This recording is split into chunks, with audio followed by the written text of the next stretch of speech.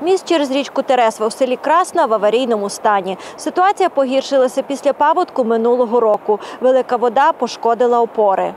Понад 300 дворогосподарств можуть бути відрізані від цивілізації, якщо конструкція мосту, спорудженого у 2000 році, не витримає. Міст практично не ремонтувався, не підлягав ніякому такому поточному ремонту. Ну за 17 років, звісно, хоч що хоч будинок, хоч що підлягає руйнуванню, тому що ходять і машини, воно ж пользується мостом.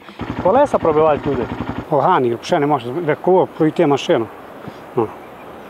Треба робити. Розуміють, що міст конче потребує відновлення і у сільраді.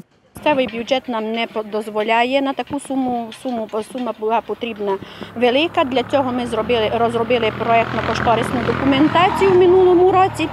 Вартість робіт згідно з проектно-кошторисною документацією 662 тисячі гривень. 62 тисячі виділять із сільської скарбнички, а 600 вдалося отримати за сприяння народного депутата Василя Петьовки. Нещодавно Тячський район отримав субвенцію соціально-економічного розвитку завдяки народному депутату України Василю Васильовичу Пітьовку.